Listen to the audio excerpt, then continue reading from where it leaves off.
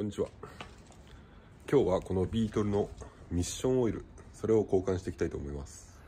でオイルは一応3リットル。だから2.5リットルぐらいって書いてあるんですけど80の90でこの GL5 ってやつですね。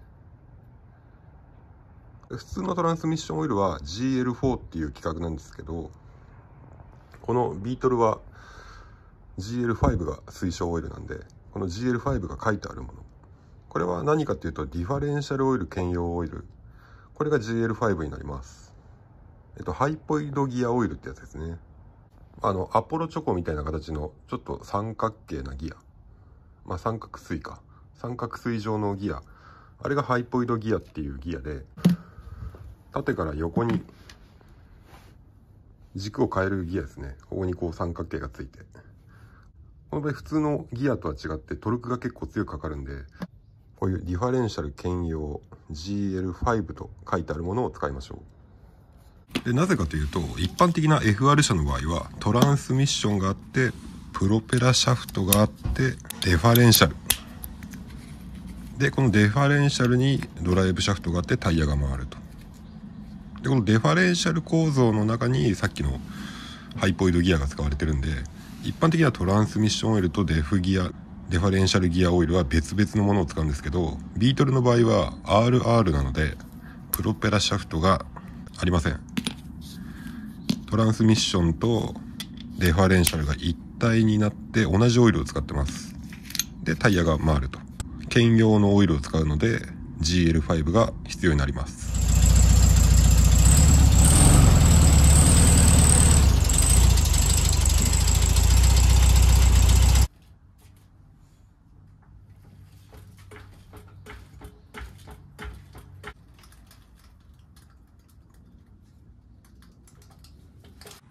じゃあまあ今リアはスロープフロントはジャッキで馬をかけてだいたい水平になるようにしました。でオイルの量を見るときに水平な方がいいので一応水平にして作業します。はい今下に潜ってミッションを下から見上げてる状態です。まあドレーンが2箇所ありますね後ろと前に。でちょっと見にくいですけどここがオイルの注入口です。これですね。この真ん中のナットが注入口になります。で、サイズはヘックスの 17mm ですね、全部。まあ一般的なラチェットのヘックスのソケットを買ってもいいんですけど、僕はこんなものを買ってやります。まあこうやってメガネレンチを 17mm の使えば、そのままヘックスレンチとして使えるんで、これ700円って安かったんで、これにしちゃいました。で、まあ、今回の作業で大事なのは、えっと、ドレンのボルトを緩める前に、注ぎ口のボルトを先に緩めておきます。これ結構ね、硬くかじっちゃう場合があるんですよね、ネジが。なので、先にドレンからオイルを抜いてしまうと、注ぎ口が開かなかった場合、オイルが入れられません。なので、先に注ぎ口のボルトを緩めます。まあ、その方が古いオイルも抜けやすいんで。じゃあまず上にある注ぎ口を開けます。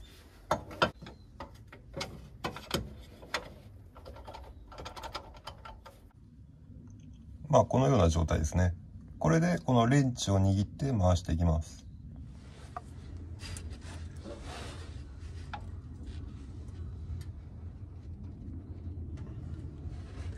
やっぱり結構硬いですね。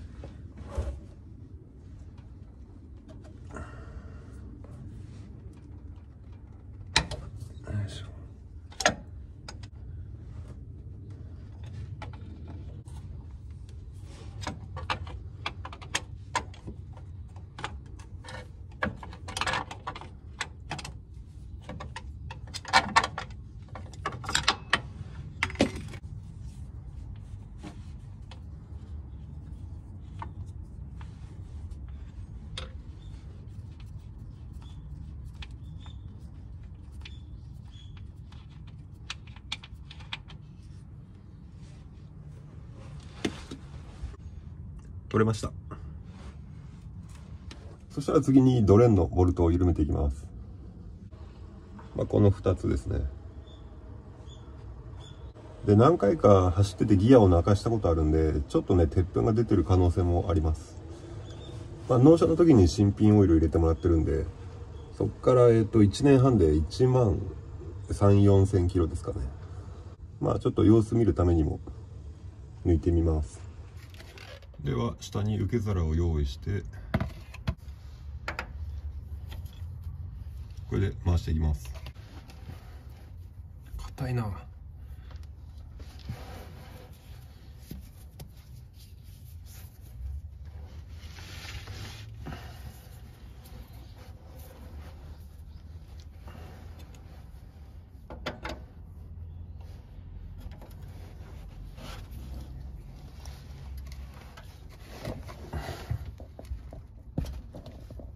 よ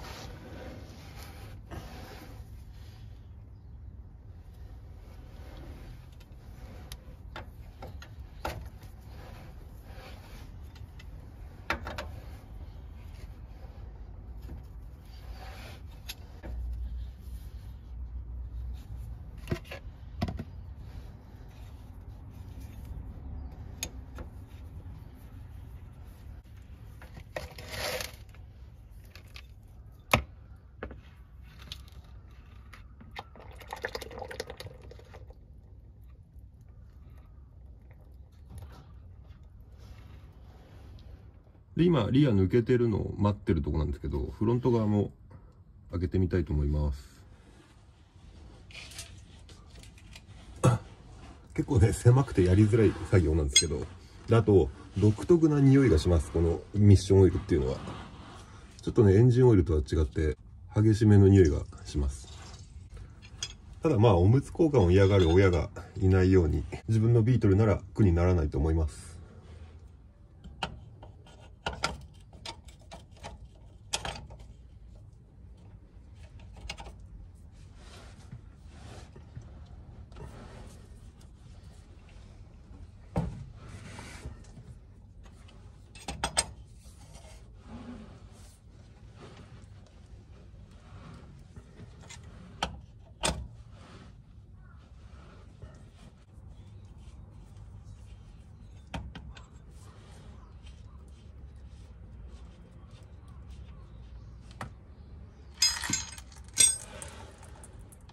これで少し時間を置いて抜けるのを待ちます。これが後ろ側のドレン。でこれがフロント側のドレン。これマグネットがついてましたね。ちょっと鉄粉が出てます。まあ大きいかけらはないからまあ問題はないと思いますね。はいすいません。僕のミスでですね注ぎ口用とドレン用のナットを1個取り違えてたんでドレンは2箇所ともマグネット付きがついてましたこれが注ぎ口用ですね。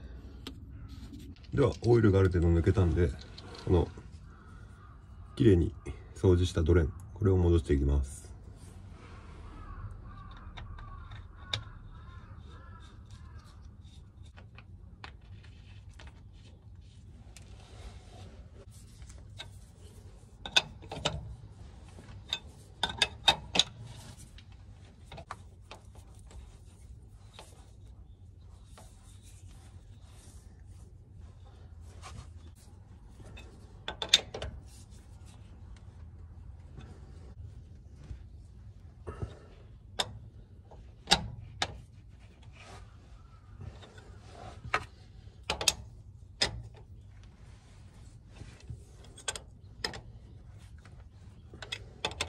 はい、じゃあこれが今抜いたオイルですね。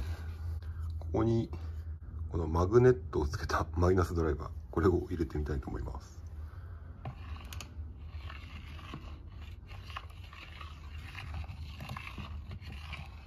で、漢字の鉄粉はそんな気にならないですね。よしとしましょう。はい、じゃあオイルを入れていくんですけど、僕今回このシュポシュポ、これを使ってやっていきます。まあやりやすいにちょっと先はカットしました。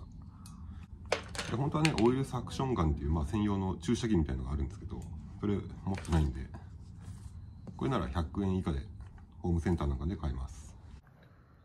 でもこのオイルはもう本当の缶詰状態なんでこういう缶切りで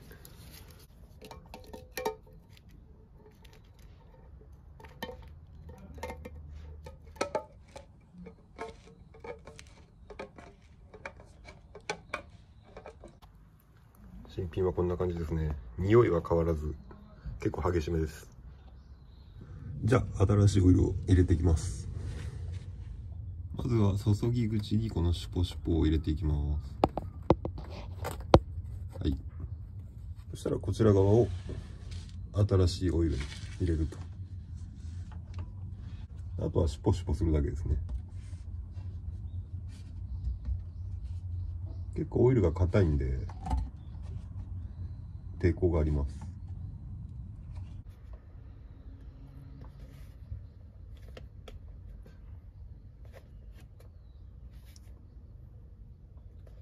でこれ量を測る時なんですけどえっとねこれ簡単です。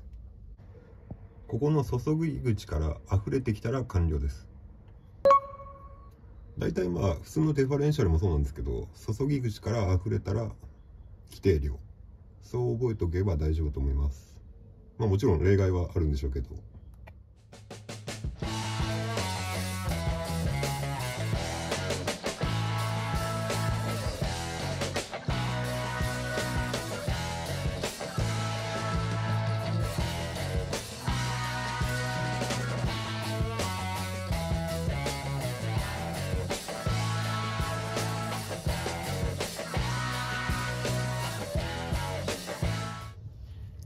今もう3本目の缶なんでそろそろオイルが溢れてくると思います。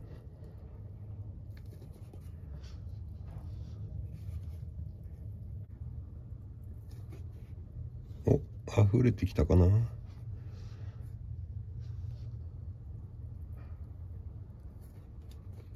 あ溢れてきましたね。これで規定量です。受け皿の位置を失敗しました。うしよう。よし。もう入れるたびに溢れてくるんでこれで OK ですね。じゃあ注ぎ口の蓋を閉めちゃいます。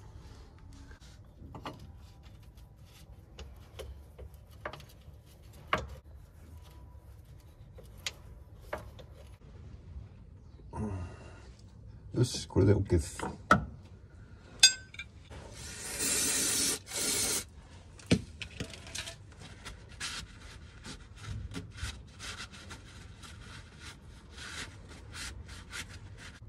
これでオイル交換作業は終わりですねまあ、全てのネジに緩みがないことを確認したら終了です、で、今回この1リットル缶を3缶使ったんですけど、これぐらい余りましたね。やっぱり2.5リッターだと思います。正規の量が。じゃあエンジンをかけてギアを入れてフィーリングを確かめてみます。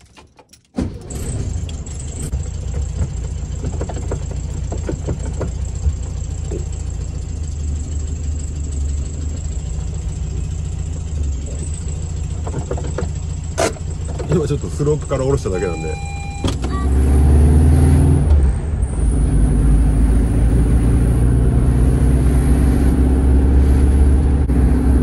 ちょっとねギアのギアの鳴きというんですかね。クーっていうギアの音がなくなったかもしれない。明らかに静かになってます。えっとねエンジン音とか排気音とは別にミッションがクーっていうこう回転音っていうんですかねがしてたんですけどその音がほぼなくなりましたね。静かになりました。確実です。エンジン音と排気音が以前よりダイレクトに聞こえるようになりました。これは変えてよかったですね。まあ、以前の入ってたオイルが種類も形もわからないんですけど、まあ、とりあえず新品が入れられてました。どうなんだろう、まあ、1年半乗って音が徐々に徐々に出始めてたのかオイルの違いで音が変わったのかちょっとその辺曖昧なんですけど明らかに変える前と変えた後で効果が出てます。